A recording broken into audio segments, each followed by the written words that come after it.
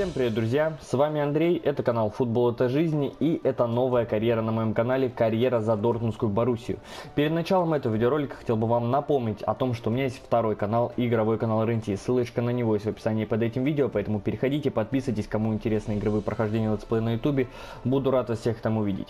Ну что же, Дортмундская Боруссия основана в 1909 году и названная в честь одноименной пивоварни на Штайтгерштрассе. Боруссия начинала играть в бело-синих футболках и черных трусах, становился чемпионом 8 раз и 5 раз выигрывал Кубок страны.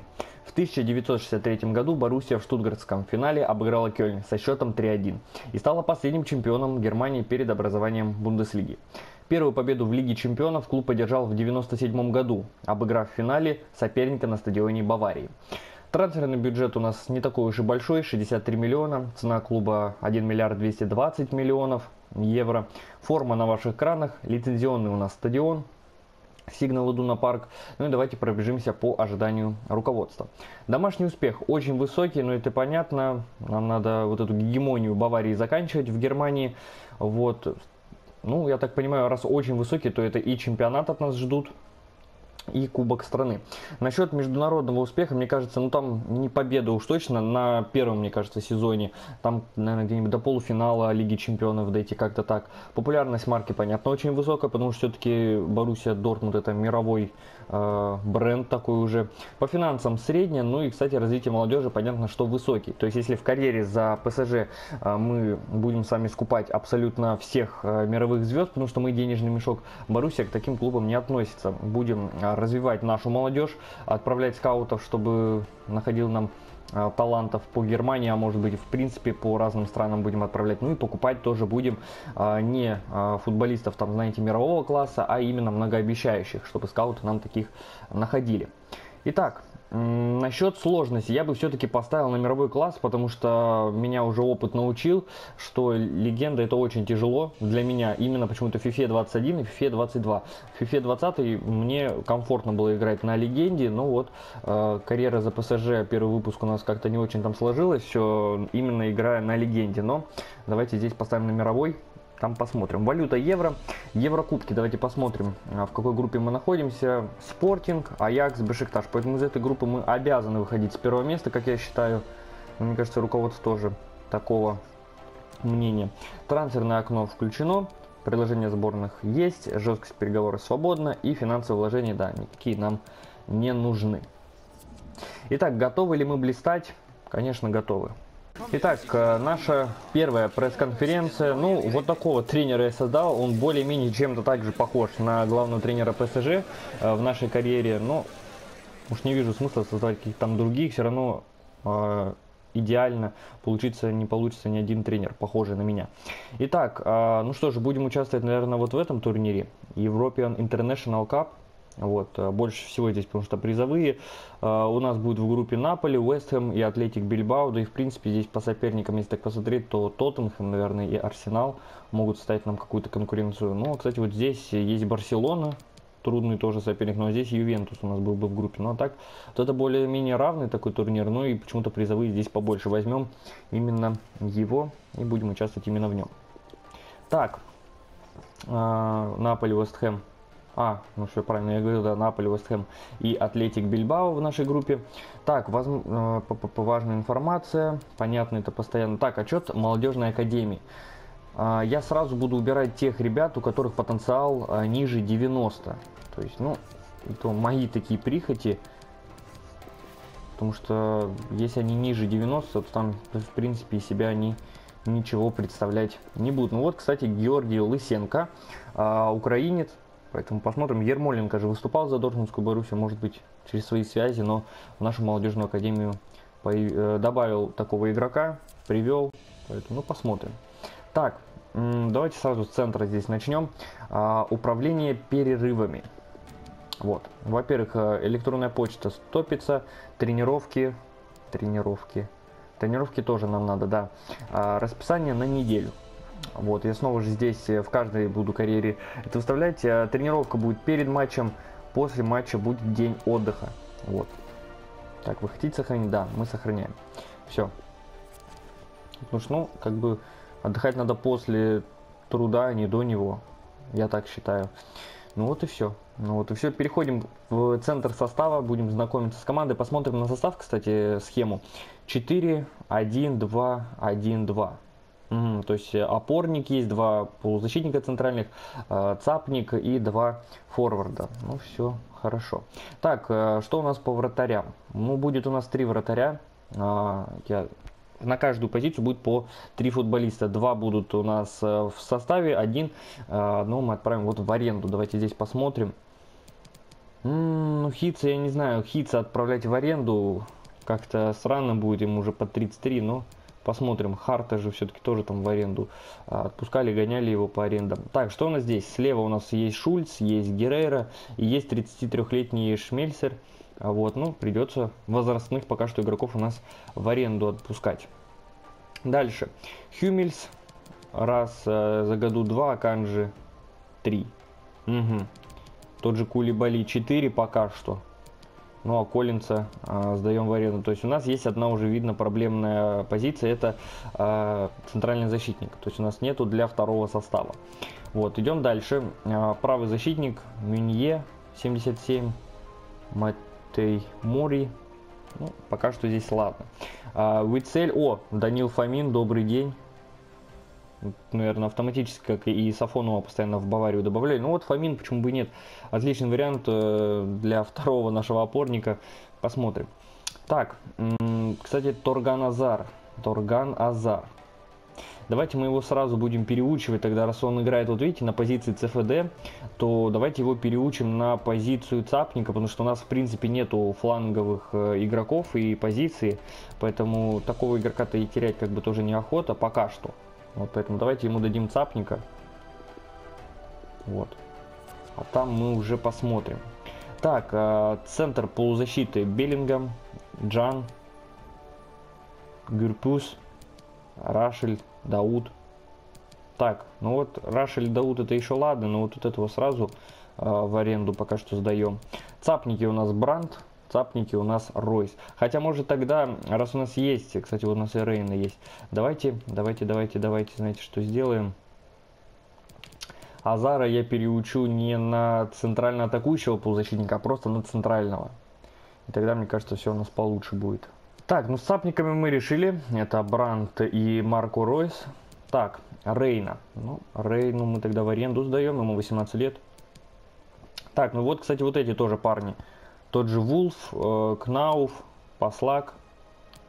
Это я их лучше бы продал. Хотя, смотрите, э, Вулф может играть справа в защите, как мы видим, поэтому давайте мы его сразу-то и переучим на правого защитника.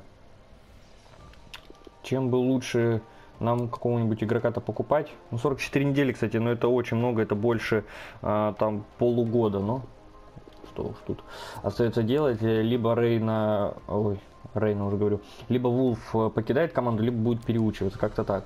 Но вот насчет Кнауфа он только на правом фланге играет, поэтому его мы сразу продаем. А, так же, как и Послака. Вот, хотя он тоже может переучиться, но это долго, поэтому вот таких игроков мы продаем. Рейнер а, из Реала у нас в аренде. Вот. Ну, в принципе, тоже он на цапнике на таком. А его и вообще, в принципе... А, нет, могу его, кстати, трогать. Могу его переучивать. Поэтому давайте и переучу его на центрально атакующего полузащитника, чтобы у него чистая была позиция, а не ЦФДшник, вот эта а, ложная девятка. Вообще за две недели отучится парень, вообще замечательно. Так, ну и нападающий это Холланд, понятно, Малин, и Тикс. Ну вот это вот плохо. То есть я уже понимаю проблемные позиции. Это центральный защитник, это а, форвард. Тем более форвард у нас в принципе мне еще одного не хватает. Поэтому ну сейчас будем а, эту проблему мы решать. Так, разберемся сразу составом. А, основной у нас вратарь Бюрки. Слева Гюрейра, Хюмельс и Аканджи. Вот Минье, так, Вицель. Биллингем. И вот сюда вместо Бранта мы ставим Джана. И все, Холланд и Малин. Так, ну тут они даже как-то вот, почему-то не знаю, что за схема такая, ну вот как-то их некрасиво вот э, расставили. Не знаю почему. Сейчас я еще, может, даже и хуже сделаю, но в любом случае. Правда, как-то вот не очень даже симпатично это все выглядит. Так, этот, ладно, это ЛЦП, а Беллингем тогда у нас будет ПЦП, все. Так, насчет скамейки запасных. Насчет скамейки запасных. Кобель. А, Шульц, как левый защитник. Правый защитник у нас пока что это море, естественно. На данный момент. Вот, потом, если что, Вульф может стать. Так. Так, так, так, Бранта берем. Ну все, здесь будет тогда опорник, полузащитник и форвард. Так, у нас опор, а, опорник это Фомин. Где он теперь? Вот он. Так, центральный полузащитник, ну Дауда будем брать, значит. Ну и здесь Тигиса нападающим. Так, дальше по тактике, прессинг при потере мяча. Ладно, здесь все это оставим. Капитан, естественно, Марко Ройс, штрафной. А, так, там никто лучше у нас не бьет, да, я так понимаю, в команде. Ну, кстати, Гюрейра 82. Ну, все равно. А, ну он вот справа бьет. Так, дальний штрафной. Сила удара 79, а у Ройса 86. Пусть Ройс-то и бьет тогда. Пенальти. 76. 76, кстати, и у Марка Ройса, и у Ицеля. Так, ну и... Так. Так, так, так, давайте сейчас посмотрим. У Вицеля 76 пенальти, 71 завершение. А, здесь 84, а здесь, ну тогда Холланд, если так и остается. Так, насчет угловых. А, левый будет подавать Ройс, а правый тогда будет Гюрейра, чтобы по флангам они нормально разбились. Ну и сейчас выставляем задачи. Так, ну все, первый состав мы подготовили, всем а, задачи мы расставили, теперь просто выставляем второй состав и смотрим на наши же проблемные позиции. Как я уже и говорю, нам нужен еще один форвард, как минимум, и центральный там вроде как защитник. Ну, кстати, смотрю вот этот пан Грачич, он вообще откуда? Почему я его как-то не увидел, пропустил? Ну, вроде как у нас теперь есть центральный защитник, но все равно не такого уровня, которого мы хотим. Но все-таки. Так, здесь у нас Дауд. И... Угу. А, ну и Рашель, да, мы говорили про него. Здесь Бранд. Здесь тогда вместо Малина пока что уберу и поставлю Тиграса. Мог я, конечно, и Рейну э, переучить на форварда, и тогда бы он во втором составе там бегал. Но это все равно пока что все не то. Так, ну естественно, переходим сюда. Так, а, нам здесь уже форварда нашли, но нет. Я по своим все равно, так сказать, связям буду это все делать. Так, здесь еще и левого защитника нам находят. Причем из Бундеслиги. Усиление основы.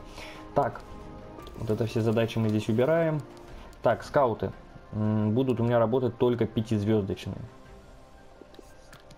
Вот этого отозвать, этого тоже отозвать и этого вообще сразу уволить. Вот, э, только пятизвездочные, потому что ну, в таком клубе, как Боруссия Дортмунд, только пятизвездочные.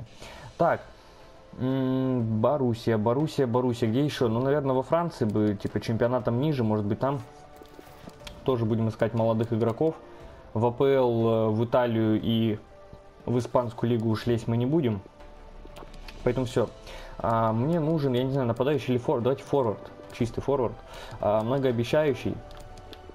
Ну и возраст сделаю, как всегда, там 16-27, чтобы если что, там вдруг многообещающий у нас 27 будет, кто знает. Поэтому будем пока что так а, работать. Что у нас там по сообщению? Да, скаут в пути, замечательно. Так, пум-пум-пум. Поехали по заданиям, сейчас посмотрим. Так, подпишите не менее трех игроков моложе 20 лет с потенциалом выше, чем средний общий рейтинг игроков, играющих в данный момент на этой позиции.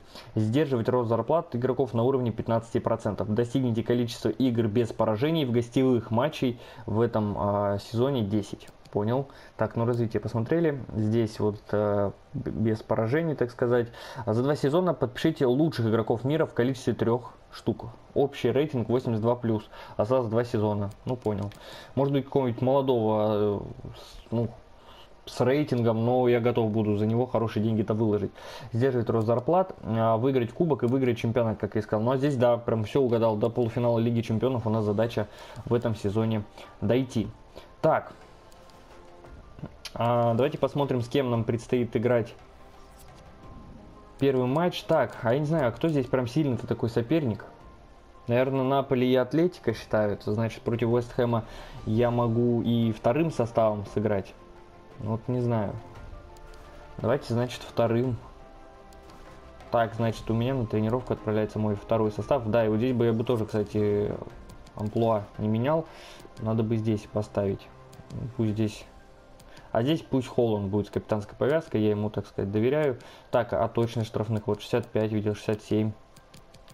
Почему Холланду-то дали? Вот Фомин у нас будет, значит, бить штрафные. Так, сила удара. Ну вот дальний штрафной пусть. Все. А, как я уже и сказал, сейчас вторым составом потренируемся. И будем уже... А, так, а кто там? Да, поменять игроков. Да, вот второй состав, замечательно. Так, ну что же, так же как и в карьере за ПСЖ, будем начинать эти все задания.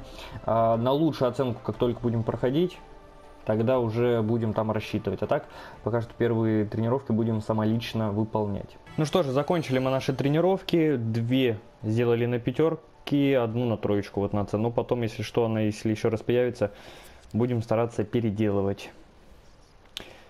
Поэтому как-то так. Ждем сейчас сообщений каких-нибудь, вот уже есть 4 сообщения, наверное, все от игроков. Так, Кнауф, э, я рад, что вы решили меня продать, замечательно, наши мнения совпадают. Гюрпус, э, тоже рад, что мы его сдали в аренду, у меня игра тут как-то от Хитс, даже возрастной игрок, в аренде тебе лучше, э, будет лучше, вот. И Холланд, здравствуйте, тренер, от лица команды хочу поприветствовать вас в клубе Боруссия Дортмунд. То есть он взял слово, не Марка Ройс почему-то. Ну ладно. Будет здорово поработать с вами, Эрлинг. Передай всем игрокам команды. Так, ну у нас сейчас очередная, да, вот будет тренировка. Второй состав, все так же. Так, ну здесь все снова новые. Ну что же, а здесь получилось все а, три тренировки на А выполнить, поэтому эти тренировки в следующий раз мы будем просто уже рассчитывать. Так, а, нам предлагают капитана.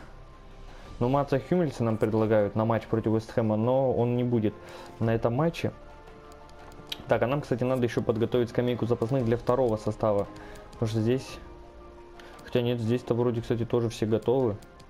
Что они автоматически, наверное, как-то перенеслись. Поэтому все, ну будем играть сейчас вторым составом против Вестхэма. Дебют для нас, ну вот, посмотрим, на что способны наши игроки. Кстати, вот Фомин сегодня дебютирует у нас, и Сергей Пипуткин будет судить этот матч. Поехали. Итак, мы на Энфилде. А, Боруссия Дортмунд против Вестхэма. Для нас этот турнир проходит а, в Англии. Ну что же, дебютный матч нашего главного тренера, хоть и неофициальный, но посмотрим, на что мы способны, хоть и играем вторым составом. Так, отлично, ну и все. Мы вроде как отбились в этой атаке. И вот сюда Тигрес на Юлиана Бранта отдает передачу. Ну а мы на Эрлинга Холланда. Ой-ой-ой, здесь Ариолята вытащил. Я думал, просто сейчас аккуратненько за Эрлинга получится забить.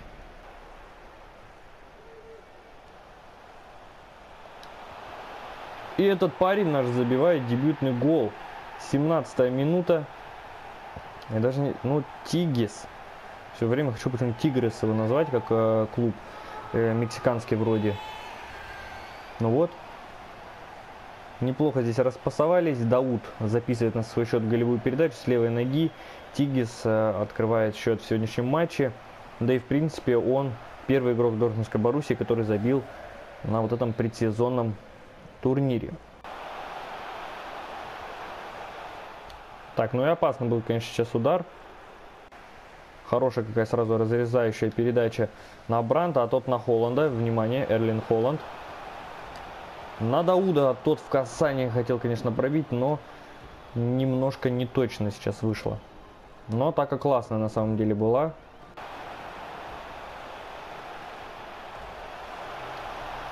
Ну, 1-1. Перед самым перерывом э, Антонио сравнивает счет. Причем это первый удар в створ, если не ошибаюсь, у Вестхэма. И вот такая вот первая хорошая действительно атака. Провалилась э, наша оборона. Там за году непонятно где гулял. Ну вот, Антонио забивает и сравнивает счет. Сразу на Бранта. Брант. Искал, конечно, возможность отдать там на Эрлинга Холланда, но вот Дауд. Дауд, какую же передачу он отдал на Холланда, но все равно Ариаля спасает ворота Вестхэма. Просто уже по пустым надо было бить, но как-то вот не получилось у Эрлинга в притирочку со штангой пробить. Вынос, подбор, надеюсь, за нами будет, отлично. Дауд. Бранд. И Рашель забивает, какой классный гол-то. С такой хорошей дальней дистанции, 62 минута. Боруссия Дортмунд снова выходит вперед, причем забивают те игроки, на которых мы вообще сегодня не ставили. Но ребята молодцы, пользуются своим временем, даже опорник э, наш, э, или нет, он центральный полузащитник, да, Рашель. Ну, очень хороший гол, в дальнюю девятку закладывает 2-1. Минимальная победа Дортмундской Боруссии. Со счетом 2-1 мы обыгрываем Вест Хэм. Голы забивали наши недооцененные, конечно, игроки, Тайкс и Рашель. Не знаю, как правильно это, Рашель, наверное. А вот э, читается его фамилия. Ну вот как-то так. Могу, конечно, по статистике тоже там посмотреть. Вот э, мы, кстати, наиграли на 5 мячей, а Вест Хэм на 2. Вот. То есть, если округлять 4,5 в большую сторону, то вот. На 5 мячей мы наиграли, ну, где-то вот, значит, подвела нас э, реализация. Так, у нас предложение по аренде для Хитца в Торино. Так, но здесь они снова, а, вот такое вот появилось недавно, нововведение, что здесь, это вроде с этой фифы, или с прошлой, я не помню, что могут даже нам предлагать аренду с правом выкупа. И вот как раз э, по Хитсу и хотят э, сделать это предложение. Мы отклоняем, посмотрим. Ну и все. Тарина сразу вышла из переговоров, после того, как узнала, что мы не хотим, э, чтобы с выкупом была эта аренда. Так, ну сейчас мы играем против Атлетика Бильбао, поэтому ну и первый состав у меня выйдет. Так, э, да, поменять первый состав. У меня сейчас будет тренироваться и снова, кстати, три тренировки, абсолютно новые для нас. Так, ну что же, две тренировки на пятерку, одна на троечку. Так, не забывайте использовать э, замены, это понятно, по Вицелю пришло предложение. Э, Лестер его хотят купить, но мы пока что отклоняем Хоть и Вицелю там 32, в будущем мы, естественно, будем от него избавляться, но пока что это не главная цель. Так, ну и сейчас все-таки Холланд выйдет в старте, отыграет 45 минут, я его потом, естественно, заменю. Давайте посмотрим, там в принципе-то у нас есть же на скамейке запасных Тайкс, да, ну, выйдет во втором тайме. Поэтому Атлетик Бильбао против Баруси Дортмунд, поехали. Итак, мы на Олд Траффорде.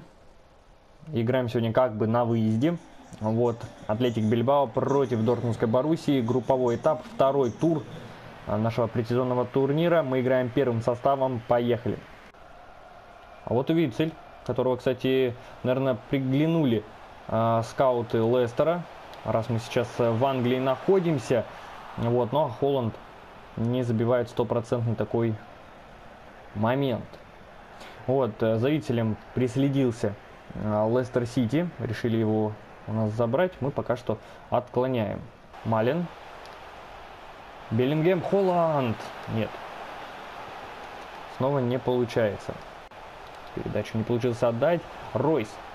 Ух, как на Малина. Ну нет, между ног пытался пробросить Унай Симону, но вратарь не поддался. И Ройс стопроцентный. Вот снова же момент.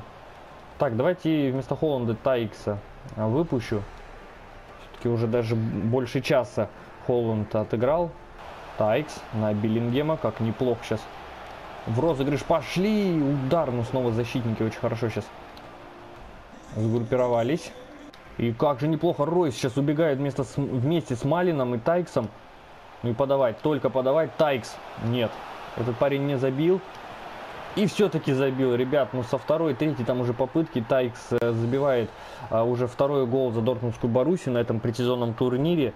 У Холланда не получилось за, э, за 60 минут э, забить сегодня против Атлетика Бильбао, но вот все-таки получилось забить Тайксу. Уже второй гол на этом турнире. Вот, да, с третьей попытки все-таки, но получилось затолкать этот мяч в ворота. Но, слава богу, Боруссия выходит вперед на 72-й минуте 1-0.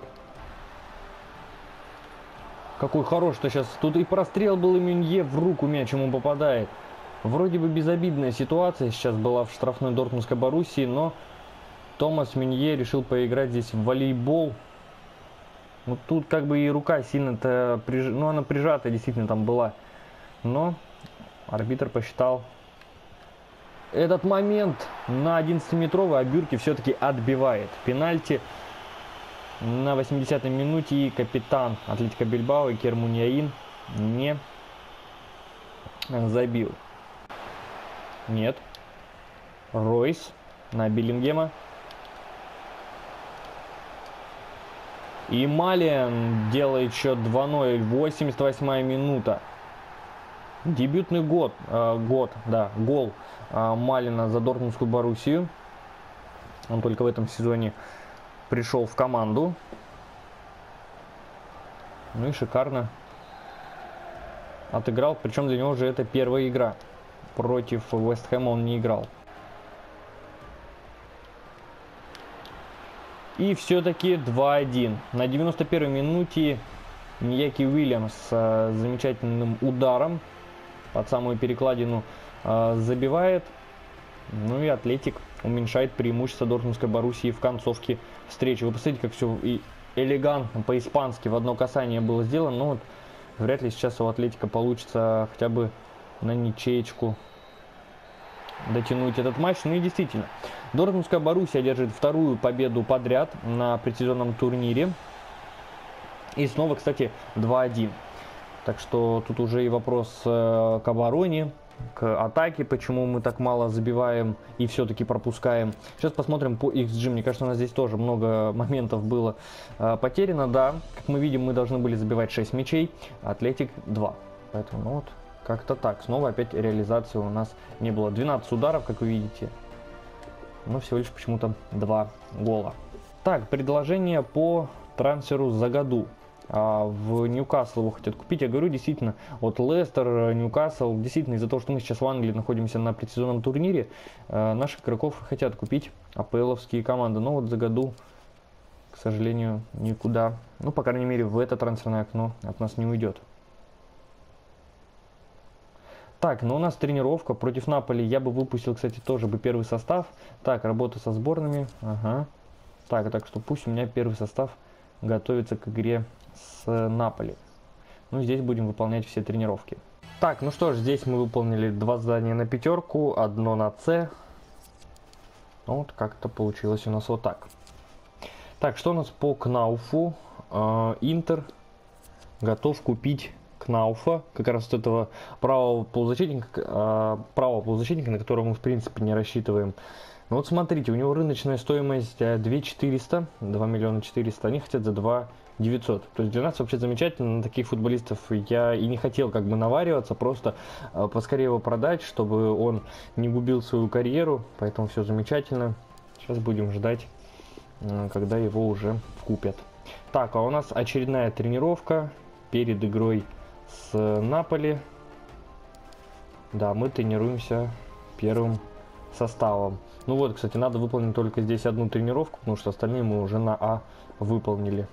Так, ну что же, это задание мы впервые выполнили. Вот, выполнили его на А, но остальные рассчитываем. Так, у нас э, предложение по Рейне. Я не помню, я его выставлял или нет. Да, вроде как выставлял. Из-за того, что у нас на цапнике есть Ройс и Бранд. Поэтому да, давайте поговорим с Миланом. Интересный вариант для Рейны. Так, на один год, да, в принципе мы согласны. Так, и по зарплате давайте 60 на 40. Все, они согласны, замечательно быстро получилось договориться. Поэтому вот как-то так. Ну и мы переходим к третьей игре на сегодня. А, так, ну, я не знаю сейчас каким. Буду, значит, вторым, получается, составом играть. Вот, выпущу, наверное, вместо Холланда а, Малина. Ну и вместо Бранта выпущу Рейну. Вот. Но там сейчас будем отталкиваться. Нападающих в любом случае мне придется менять. Ну вот как-то так. Так, но здесь, кстати, нет. Холланд выйдет в старте. А, давайте, да, может быть, вот этих моих э, нападающих попробуем, потому что Азар. Азар. Давайте Ренье будет играть на этой позиции, а вот здесь это будет Рейна. Вот. Так вроде мы и решили. Все, вот так вот выйдем. Посмотрим, что из этого вообще выйдет. Дождь на стадионе Олд Траффорд. Поехали. Итак, Олд Траффорд, третий тур группового этапа. Мне кажется, самый интересный матч из э, пока что нашего э, группового этапа. Это именно матч против Наполи. Против Вест Хэма и Атлетика как-то не очень, наверное, было. Именно по э, афише, если смотреть. Но вот здесь вот по вывеске, мне кажется, две очень равные команды. Поэтому посмотрим, кто сегодня одержит верх. Так, Ренье отлично проходит. И сразу же подача на Холланда, но тот э, не попадает, к сожалению, даже в створ. Так, ну и здесь штрафной удар. 11 минута, я сейчас не знаю, кто там в команде. Вот Фомин, кстати, неплохо по точности штрафных. Давайте попробуем, почему бы и нет. Это первая наша попытка пробить штрафной. И ух, в самую девятку-то мяч летел, а спина э, вытащил этот удар. Давайте еще раз посмотрим. Ну, я думал, другой немножко камеры покажет, но... Там и в перекла... в эту... В штангу, мне кажется, мяч летел. Выдвигается очень даже хорошо. И подача какая! Гол Эрлинга Холланда через себя, но, к сожалению, из офсайда. Но гол был очень красивый. Надеюсь, в сезоне в этом мы такой повторим еще. Ну и здесь все-таки, да, причем явный офсайд был. Так и неплохо на Ренье отдают передачу. Неплохо он сам ускоряется. Ну, ой-ой-ой-ой-ой, что за привоз сейчас. А, а спина с защитником не понять, что сделал. И вот Рейна, которого хотят у нас забрать сейчас а, в Милан в аренду на один сезон. И вот он вот так вот забивает. Первый свой момент же Рейна реализовал. Ну, вот так вот 1-0, 31 минута. Питание. Ой-ой-ой, здесь пенальти, а. Здесь пенальти. И получает желтую Понграчич. Ну вот как-то так, перед самым перерывом. Ну, кстати, у нас Бюрки же уже отбивал пенальти против, я не помню с кем, мы с Атлетиком, да, вот играли в прошлом туре. А вот сейчас вот Инсини и Кобель. Посмотрим. Нет. Ну а здесь Инсини аккуратненько просто перебросил. 42 минута. Наполи сравнивают счет.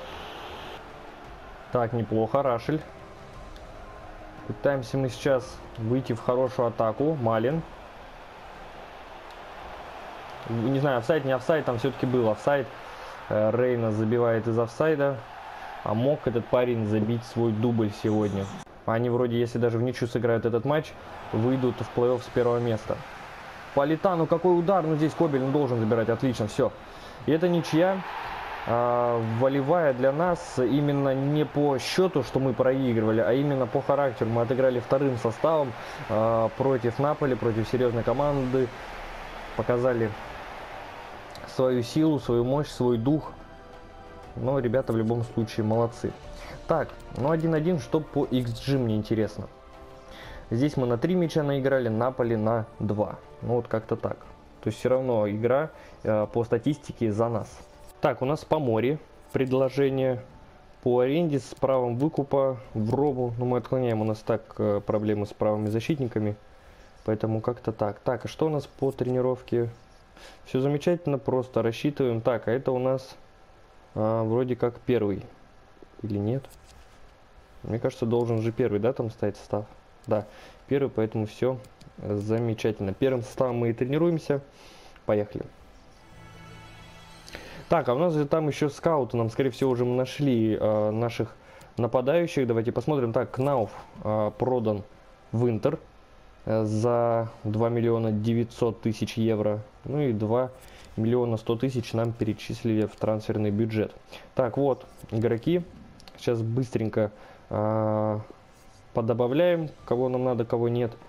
И будем переходить уже к матчу с Арсеналом. Так, ну что же, выбрали, за кем нам стоит тщательно последить. Ну и переходим к последней игре на сегодня. Это полуфинал нашего предсезонного турнира. Ну, начнем пока что так, а там, может быть, а, кто-нибудь да и на замену у нас выйдет. Давайте посмотрим, кто у нас в принципе сегодня на скамейке запасных. Тигис. Ну, я не знаю, я бы лучше Ренье, наверное, бы взял. Вот. У него как-то не сильно-то там и задалось. Вот. Поэтому пусть пока что вот так. Ну и все. Боруссия Арсенал. Поехали. Итак, Олд Траффорд. Уже игра на вылет. Ну и вроде как Арсенал-то английский клуб, и здесь и может быть полегче будет. Мы все-таки как приезжая команда. Ну посмотрим. Уже матч на вылет. Будем стараться. Элнени. Передача в центр на Джаку. И как здесь Абумиянг-то просто один. Одинешенек стоял. Передача его Джака вывел. И все. Мы впервые, кстати, пропустили первыми в этом турнире. Супер, Эмри Джан. И в забег отправляет Малина без офсайда пока что. И Ройс. Это Ройс, это Марко Ройс, капитанище. Забивает, сравнивает счет. 62 минута. Счет у нас 1-1. Ну, здесь вот хорошая атака прям вышла. Малин оформляет голевую передачу и просто вот так ткнул с пыратом вроде. Сейчас посмотрим.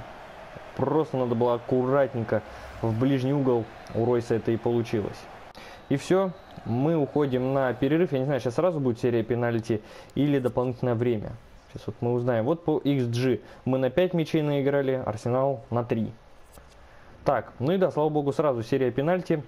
Так, ну и посмотрим, как я бью серию пенальти в FIFA 22. Это моя первая серия пенальти. Ну, давайте попробуем. Отлично. 1-0. Так, ну пенальти мы отбивали. Так, ну, не в этот раз. Ну, мы и пропускали уж точно с пенальти. Это тоже так, Ройс. Давайте попробуем. Почему бы и нет. Аккуратно! Ну нет штангу попадает Марко Ройс, но теперь надо отбивать. Сака забивает. Он не забил на финале чемпионата Европы, но забивает сейчас Эрлин Холланд. Отлично. Норвежец ходит с пенальти забил. Надо, надо сейчас э, Бюрки спасать. Нет, здесь аккуратненько Смит Роуд, э, Роуф э, перебрасывает.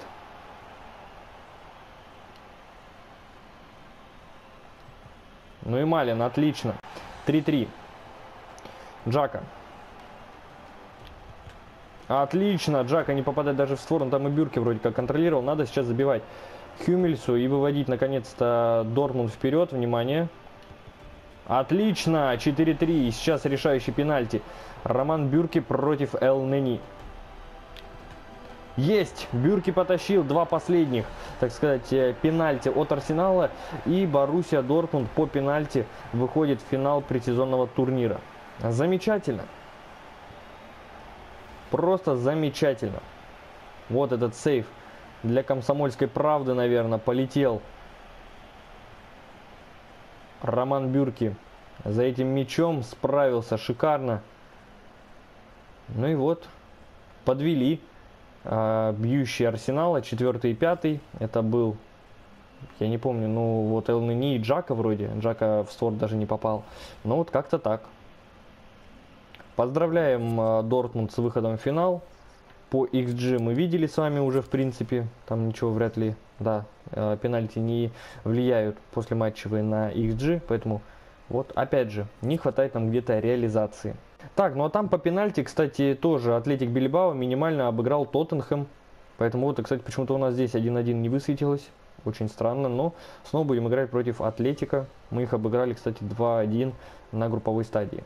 Рейна у нас дан в аренду, а, в Милан отправляется, замечательно. Беллингема хотят купить а, в Манчестер Юнайтед, мы отклоняем. Так, что у нас дальше? А, Ренье, возможность так, так, так, сообщаю вам, что Ренье развивается и прогрессирует согласно нашим ожиданиям. Так, так, так, так, так. Ну все, в принципе. А, Ренье. А, это вот этот именно, тот э, Рейн, а этот Ренье. И что про Ренье? Так, а, а на какую позицию я в принципе-то говорил Ренье? Играть, тренироваться. На цапника? А, он уже готов сменить позицию. Он уже готов сменить позицию. Я бы ему сейчас бы форварда бы... А он сколько? 17 недель? Пусть еще, ну ладно, все. А, он как бы а чем мы теперь не сменим ему позицию, пусть он переучивается, а, потому что цапники у нас вроде еще нормальные, да и тем более он вернется в Реал, пусть хотя бы нападающим будет, если что, вместо кого-то он бы выходил. Не подумали мы, конечно, про это, ну ладно уж. Так, ну здесь еще и ждут и ищут скауты наши.